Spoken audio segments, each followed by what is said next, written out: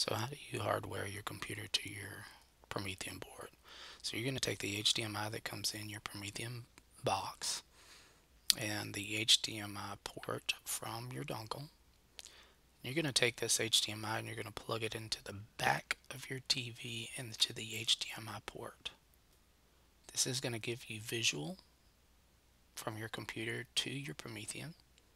So you're going to take that dongle, you're going to plug it into your computer, plug the HDMI into your dongle.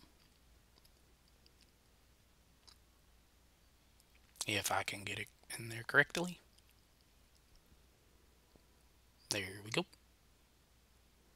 And then I'm going to go to my TV, go to my Central Apps, hit Source and HDMI. And this will bring up my computer screen. So how do I make my computer screen interactive? Well, if I'm hardwired, there's another cord in your box that's a USB on one end and a block USB or square USB on the other.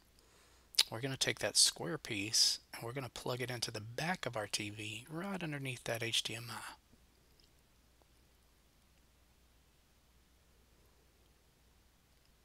Then we're going to take the USB end and we're going to plug that into our dongle. Now my dongle is a little bit different than yours.